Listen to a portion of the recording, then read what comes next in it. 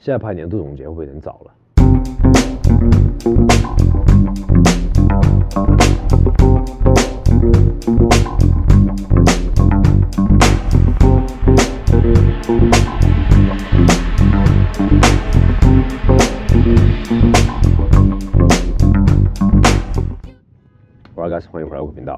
今天这一期呢，想跟大家分享一下我自己在过去大概一年多的时间呢，收到的一些 Salomon 的鞋款，基本都是一些比较偏向于时尚风格的方向去设计的，一些是普通款，有一些是联名款。那我大概按照他们的配色逻辑分三个组啊，总共十二双。先从一些最近收到的开始讲，后面就再介绍穿了好一阵子的那些旧一点的款式，因为其实讲过，我就不想再费更多的口水。讲新款的话，我需要一些多一点时间。OK，那么首先来看一下这一双鞋，鞋盒是这样子的。今年的限量版鞋盒已经都改进了一下它的整个设计，那么就是这一双 Rama Studio 和 Solomon 联名的这双 Cross Pro。这一次的联名呢，总共出了两个配色，除了我手上的这一个配色之外，还有一双黑色。Cross Pro 这个鞋型呢，应该也是 Solomon 目前为止比较少做联名的款式。关于 Rama Studio 这个品牌呢，它前身就是 Anamar Johnson 这一个设计师的同名品牌。Anamar Johnson 跟他的搭档 Luke Steven，他们两个都是毕业于皇家艺术学院的。更名成 Rama Studio 之后呢，他们两个人一起回到冰岛去继续做这一个新新品牌工作。嗯，这一次整个鞋的 idea 呢，也是比较围绕冰岛这一个国家，然后它的这种更加天然的一点的感觉，也是 Run Studio 整一个新的品牌形象想要呈现的方向。普通款的 Cross Pro 呢，它就是一个弹力的编织鞋面，就像 Salomon 其他的一些越野跑鞋一样，它是比较的透气，比较有好的弹性，但是不会防水，然后也比较没那么耐刮。这一次换成了这种 Ventel 的材质，而且是手工染色，整双鞋是采用了一个非常天然的植物染，那种植物呢也是来自冰岛的一个叫做 Elftinger 的植物，整个一个是手工预浸泡，然后再加上晒干，可以从鞋面上去看得出来，这个染色是非常不均匀的，一块一块的效果，但是也很漂亮，整体色泽还是比较统一的。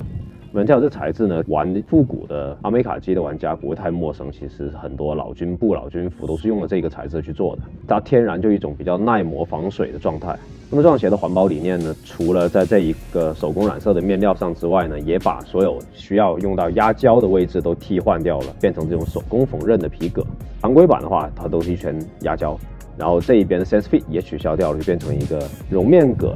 但现在这双鞋上没有很明显的 Sense Fit 了。还有一个大大的提环，都是用比较天然的织物去做的。然后内衬是一个非常漂亮、非常柔软的，我不确定是小羊皮还是猪皮的内衬。那个鞋垫也采用了软木塞填充，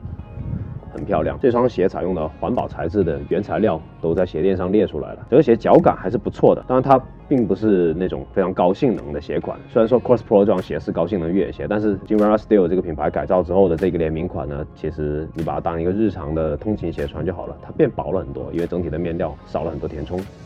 就是一个非常轻便的鞋子，当然脚感还是很不错的，一如既往，Salmon 当家的这一个 Energy Cell Plus 的缓震中底。一个 Counter Grip 的外底，关于这双鞋的码数呢，大家可以稍微拿回正常码，就不是像之前的 Salomon 一样需要拿大一码或者半码。这双鞋的鞋身其实非常薄，有 Cross 家族一如既往的轻量化的视觉效果。它其实有点像是一个偏性能机能感觉的德训鞋的定位啊，就是一个非常轻便、非常日常的鞋款。这是这一双 Rama Studio 的 Cross Four，我稍微讲快一点。OK，那么再过来一双也是 Cross Family，有没有觉得好像 Salomon 今年比较想要去推 Cross 家族的系列的鞋款？而且 Cross 这个家族呢，确实也有很多有待开发和改进的鞋款啊，呈现出来，我觉得是更加新鲜、更加好看的。我也挺喜欢 Cross 这个家族。那接下来分享这双鞋呢，也是最近比较火热的，相信各位也是有看到疯狂的曝光，就是这一双，看下鞋盒，一样是这个限量版的盒子，不过颜色跟刚刚的 Rama 不太一样。没错了，那么就这一双 Magella 收到的这双是 Cross High。Cross High 这个鞋型呢，我个人是非常喜欢的。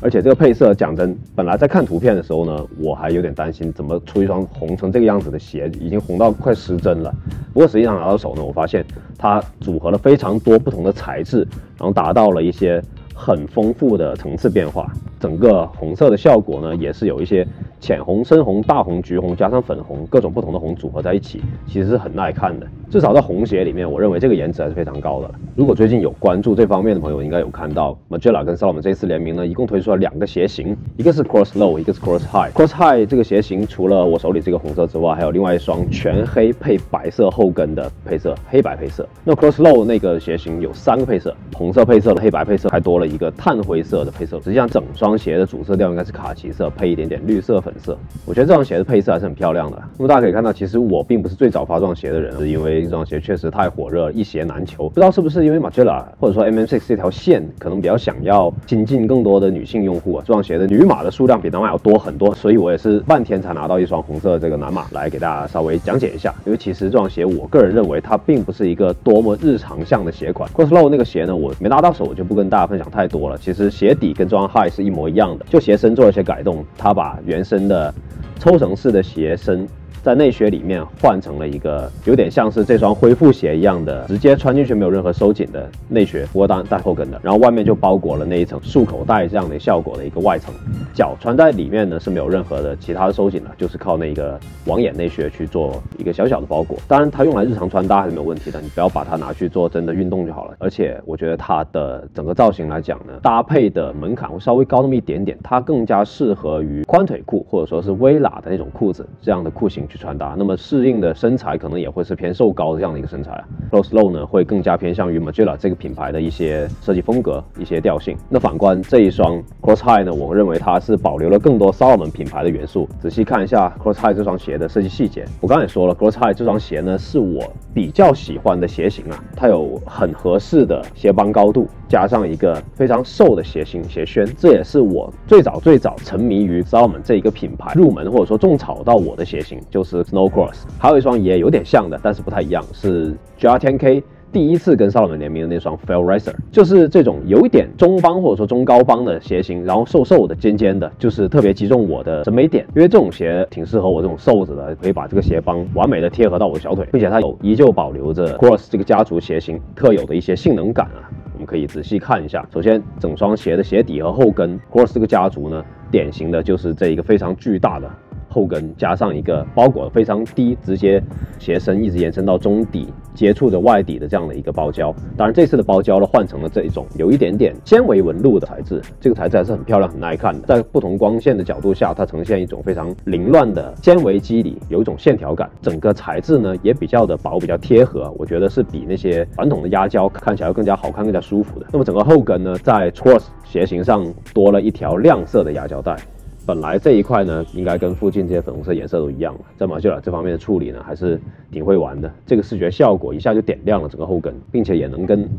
内侧这些压纹的线条呼应上。那么你可以看到中间的位置，在内侧与外侧都有这一个侧面的加固。整个加固呢，本身应该属于他们这个稳定系统的一部分啊。那么这一次呢，把它这一个 MN6 中间这个六的 logo 放在最亮眼的中间位置了，设计的自由度开放的也很高。那么鞋底可以看到，它是依然是 Cross 家族非常经典、非常大纹路的这种抓地齿，颜色也不一样。我觉得这个鞋底的配色还是很漂亮的。那么来到鞋面呢，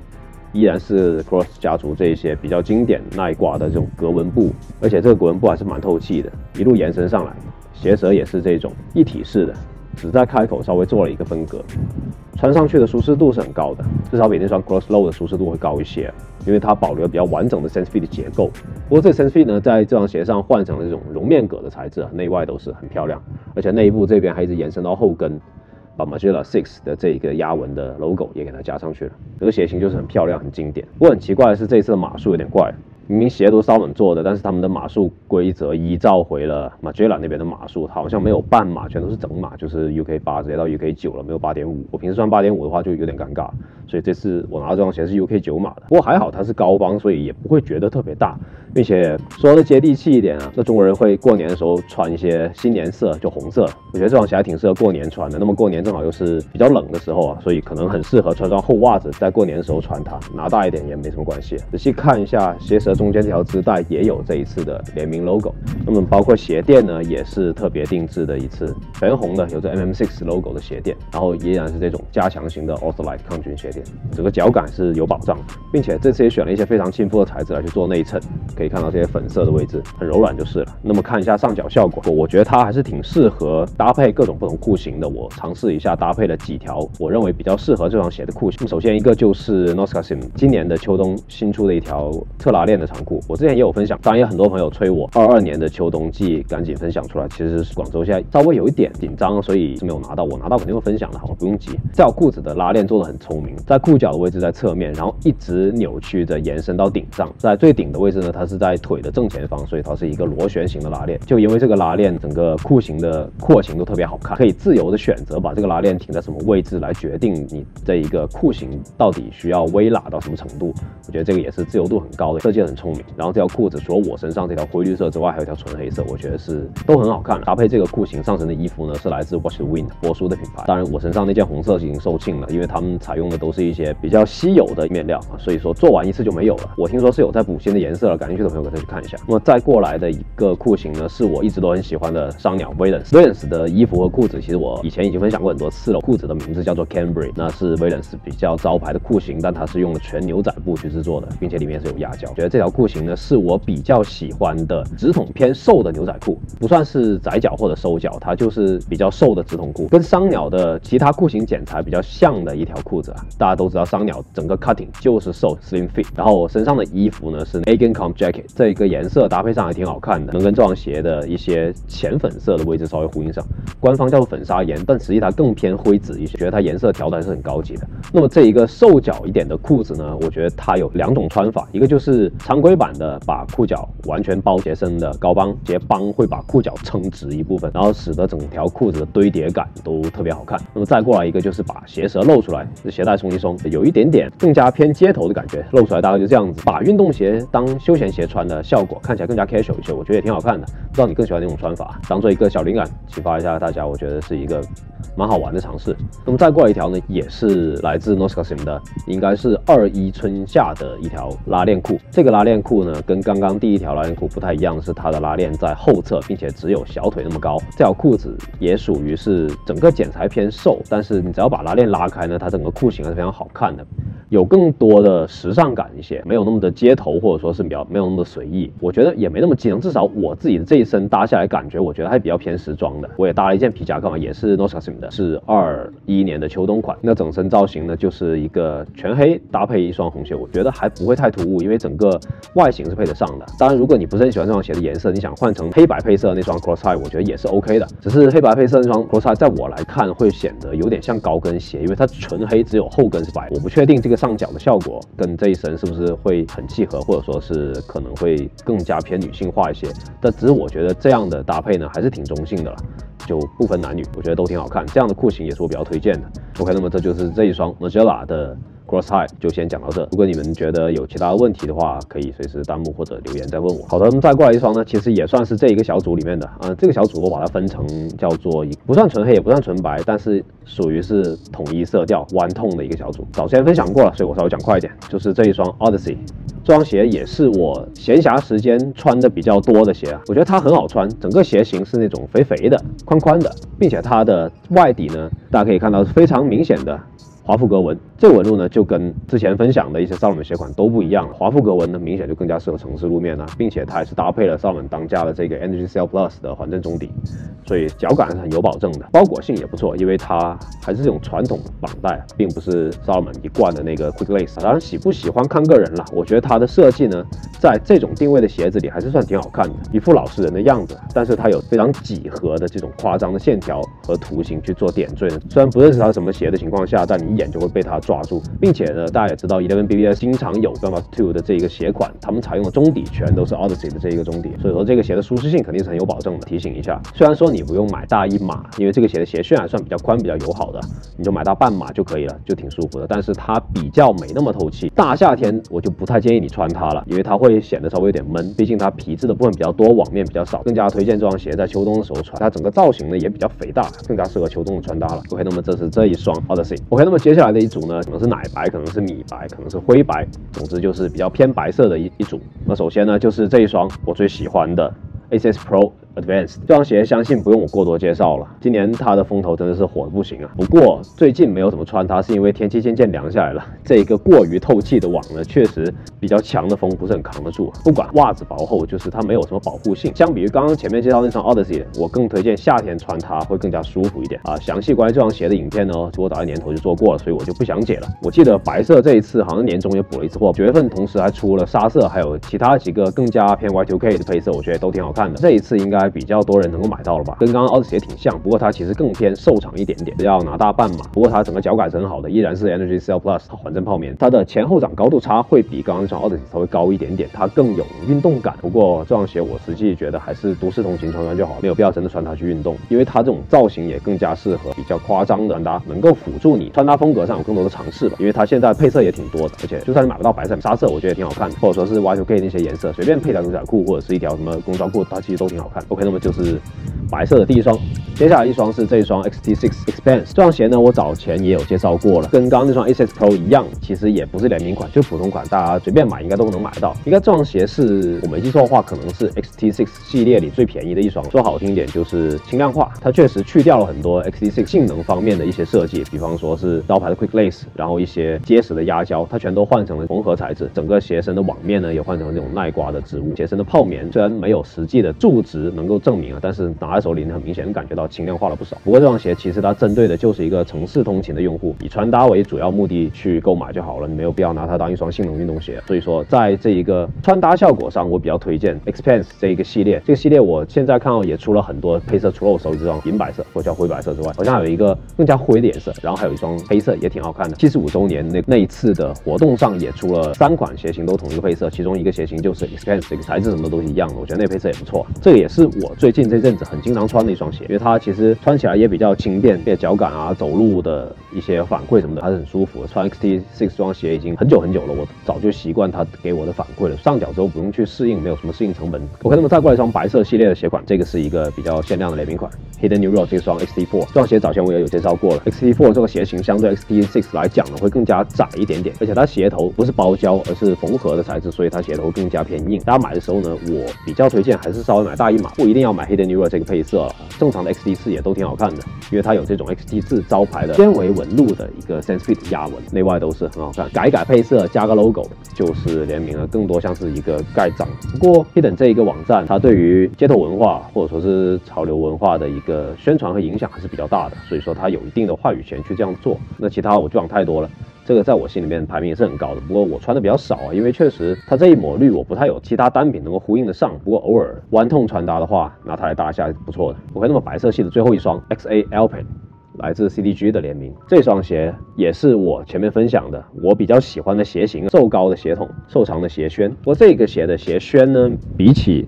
Magilla 的这一双来讲呢，又不太一样，它会更加圆一点点。当然，这两双鞋本身的设计性能的出发点就不太一样，大家可以看到。XA Alpine 这个鞋本身也是比较薄、比较扁一点点。如果穿条长裤盖住它鞋帮呢，更像小白鞋。把斑鱼，我的 Q，就是这种感觉，它比较的轻便。X A L P 这双鞋呢，在骚门家本身属于一个高海拔越野跑鞋，在山头或者说山腰以上的位置去奔跑的鞋款。它整个鞋底的纹路设计呢，也明显就跟一些山脚下，比如泥地、雪地的一些越野跑鞋不太一样，坑纹更短，更加适合一些碎石路面嘛。然后它对于脚的保护也提升的比较大一点点。当然，这双鞋本身。的普通款呢，它的内内靴跟这一次联名款的差异所在，就是联名款把它换成了这一个网眼内靴。这个内靴也就是我前面讲的 m a g i l a Cross Flow 的那个内靴，跟这个是一样的。正常的 XAL Pen 不管你买的是我手里这种高帮也好，是中帮也好，它里面都是一个比较完整的有 Sensefit 抽绳设计的一个内靴，然后外面这个更多一个保护啊、防沙的作用，免得你套一个防沙套了。那么这双鞋呢，如果你真的拿它去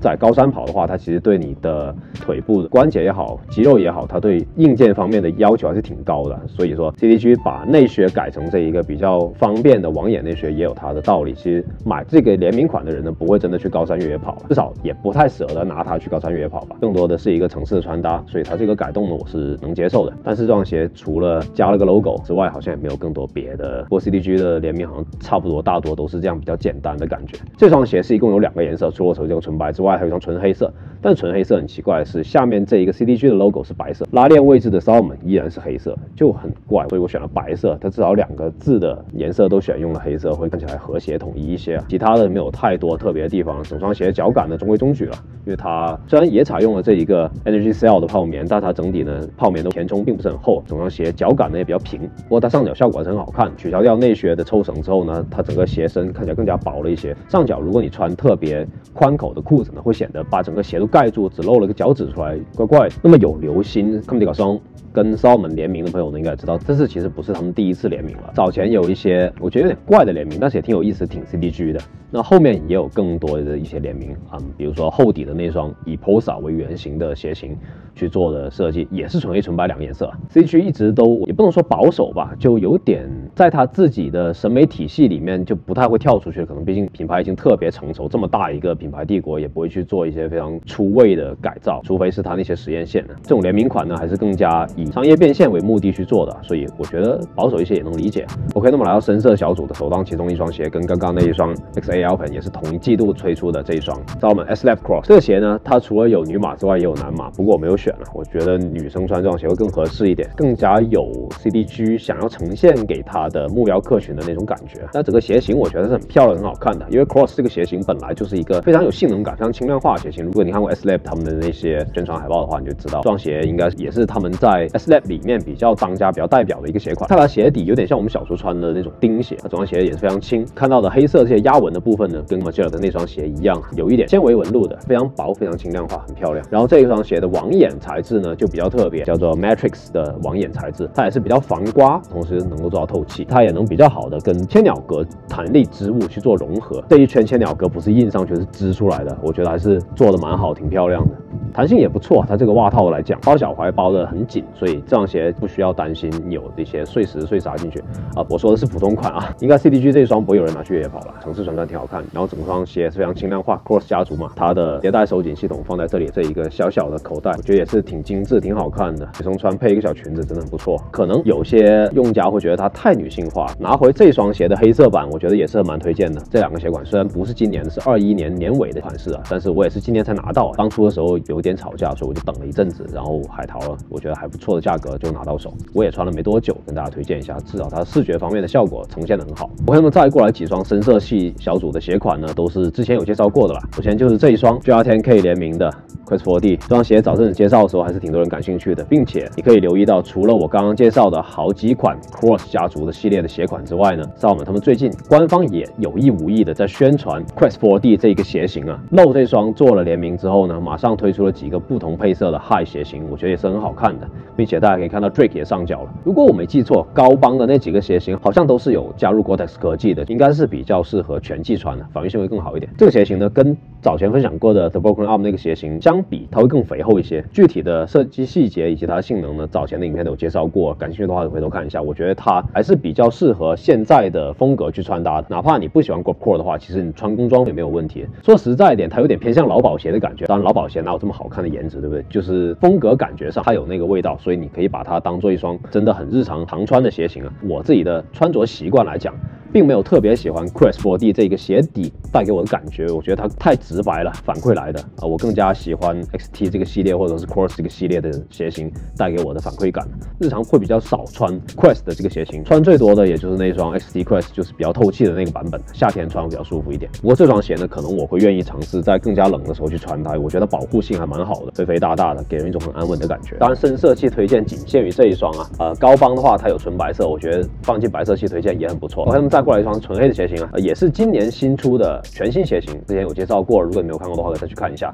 关于这双鞋的性能还有其他的一些设计什么的就不多说了，主要推荐一下这双鞋的黑色版，大地色系，然后有灰白相间，银灰色，我觉得对于 City Boy 风格的感觉，或者说是一些更加技能科技的感觉，然后更加户外的感觉，他们都有兼顾到。纯黑的这一双呢，我觉得就更加适合城里的一些比较夸张的暗黑搭配了。虽然说它是纯黑色，但其实它整个鞋型的造型呢也是非常夸张的。即便它用了纯黑的配色，你能感觉到这双鞋攻击性非常强。建议如果你要买一双纯黑的鞋，你又要好穿舒服，同时除了造型感非常足够、时尚感很够之外，它价位也比较适中。我日常也有穿，我还挺爱穿的。比起 Quest 这种比较硬的鞋来讲啊，这双鞋它软中带硬，更有韧性，而且它前后掌高度差会比较大一点。我不喜欢太平的底。当然，这一切都以我自己的喜好为前提去做的分享。自己心中有今年的你的 Top Ten，欢迎你也跟我分享一下。但，我也不单单推荐这个黑色，整个 Speedverse 的鞋型我都很推荐。这个应该也算是一个比较好买的普通款，它也不是什么联名版。我那么再过来一双呢，是比较早前的鞋型了。虽然我没有专门针对它分享过，但是我穿它上脚和穿搭都有好多的次数了，也不是特别新的鞋款了，就这双 XT6 FT Future Tech。不知道为什么当初他们推出 FT 这个鞋型，我还挺兴奋的，终于不用在 XT6 的基础上继续换颜色，有点新的玩意了。但是不知道怎么搞的，好像出了开头三个配色之外呢，一直到现在陆陆续续的也就多了那么好像一两三个配色。今年开始，整个全球的供应链都其实不是很顺畅，很多生产都因为供应链的关系受到了阻碍。本来我还有更多想推荐的鞋型呢，其实根本就没有做出来，或者说是不知道这个计划耽搁到什么地步了，只能说是跟大家口头讲讲了。那这双鞋其实推荐它的原因也是因为它在 X6 鞋型的基础上呢，有比较多的城市使用的一些时尚感，或者说街头感，没有那么多户外运动的性能感，比较高的鞋口、鞋舌，比较简洁利落的鞋面设计。对于深色鞋款推荐来说，这双鞋我觉得也是很漂亮、很好搭的一个鞋款。OK，那么再过来一双呢，就是我手里没有实物的一双鞋，但是我也是期待了好久好久，就是因为供应链的关系一直耽搁着。那么就是 COS Salmon 以及 Children of the Discordance 来自日本的品牌，他们三方联名的一双 XT6 鞋身，主要的纹路腰果花或者巴洛克纹，中底的缓震采用了一条比较亮的橙色，跟 Children of the Discordance 的 logo 也是一样的。就是整双鞋的，我觉得颜值还是很高的。对于 XT6 这个鞋型来讲，它也比较少有花纹或者说是印花设计，更多都是纯色设计。所以这个鞋也是我期待了蛮久的，并且也是我们有 COS 这个潮流店铺有参与设计的计划。本来说今年年底要出，现在已经十一月中了，马上快十二月了，还有一个月的时间，今年就结束了。这双鞋谍照其实满世界都是，但具体发售到底什么时候呢？现在还没说准。如果我有更多消息，我也会及时再通知大家的。OK，那么这大概就是我今天想要跟大家分享的一些收到的比较喜欢的时尚取向的 Salomon。当然，一切都是以我自己的喜好、以我自己的口味为准啊。我不是指引你们，或者说不是要带货这些鞋，因为很多款式我知道现在也不太好买到啊。只是说分享一下我个人这一年也算是小总结吧。当还有一个月啊，但是我不是很期待接下来的一个月能收到什么鞋了，所以说就先提前总结一下，避免到时候撞车。OK，那么就是今天的影片，如果你觉得还不错的话，希望你留一键三连。如果你没有关注，一定要点一下订阅。那我是 Rob，再见。